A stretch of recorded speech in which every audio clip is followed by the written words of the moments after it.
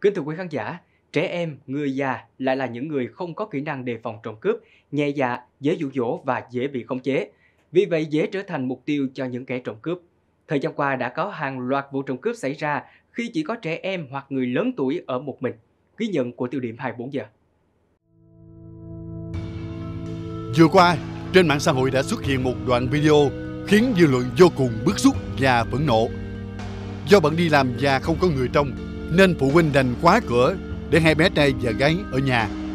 Trong khi bé đang học online thì có hai người đàn ông tới, đập cửa, uy hiếp, hăm dọa, bắt cháu phải đưa iPad qua cửa sổ.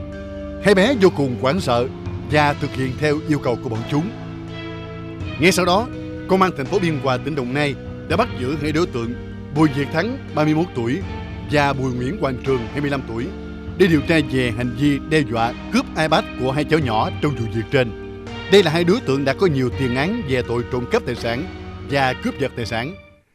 Còn tại phường Tân Đông Hiệp, thành phố Di An, tỉnh Bình Dương, cha mẹ của hai cháu bé đi làm và để con ở nhà. Lúc này một người phụ nữ lạ mặt xuất hiện, gõ cửa tiếp cận và dùng lời lẽ ngon ngọt dụ hai cháu đập con heo đất trong nhà ra để mua bảo hiểm cho gia đình. Hai bé đã làm theo lời yêu cầu, dùng toàn bộ số tiền khoảng 130 triệu đồng trong heo đất để đưa cho đối tượng. Sau đó người này nhanh chóng tẩu thoát khi đã có tiền trong tay.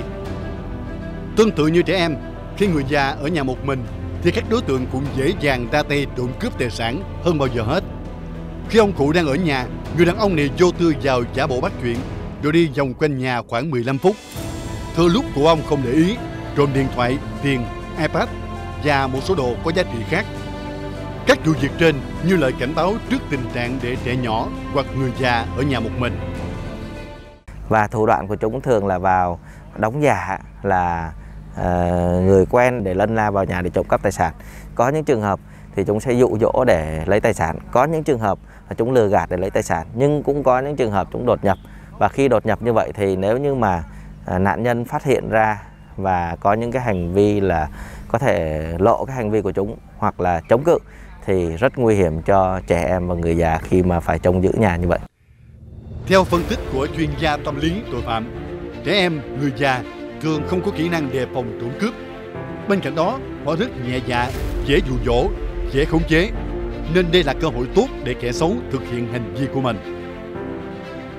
Mình nghĩ là để trẻ em hoặc là người già ở nhà một mình rất là dễ bị trộm và hoặc là những cái cái trường hợp như là tai nạn hoặc là hỏa hoạn gì đó họ không ai hay biết và rất là khó để ừ, cứu trợ kịp thời.